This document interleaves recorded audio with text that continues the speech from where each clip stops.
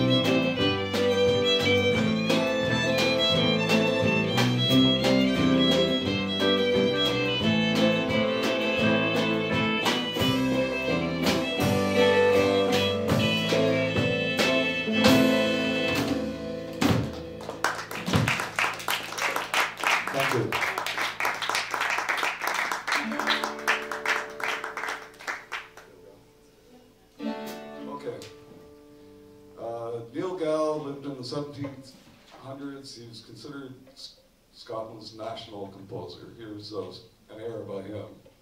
It's called Neil Gow's Lament for his second wife.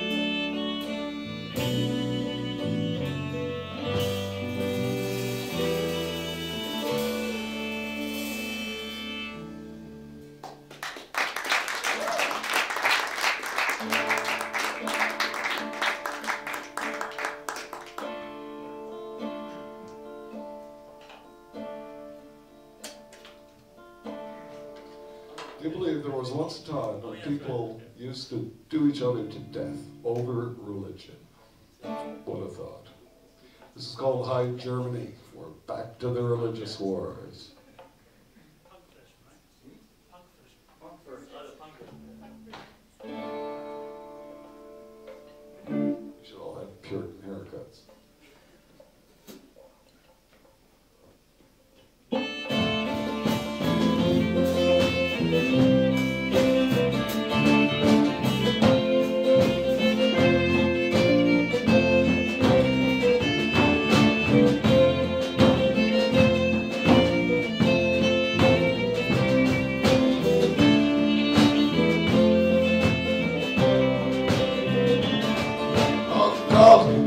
Oh,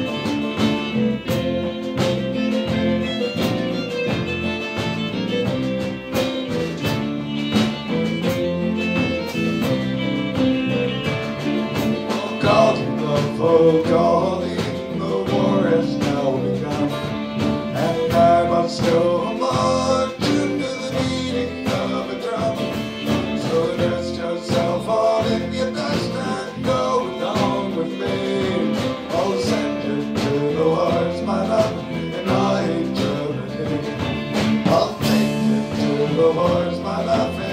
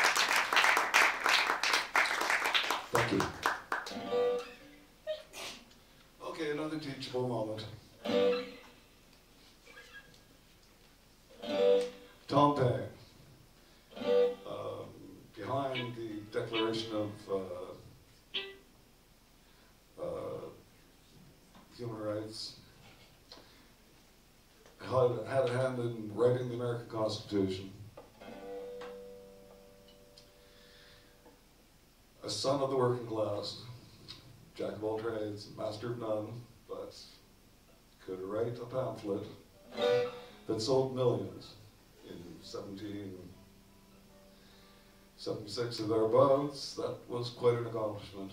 Nothing else sold that well except for the Bible. I think we should dig them up out of the ground because we need them again. This is called Let's Dig Tom Paine.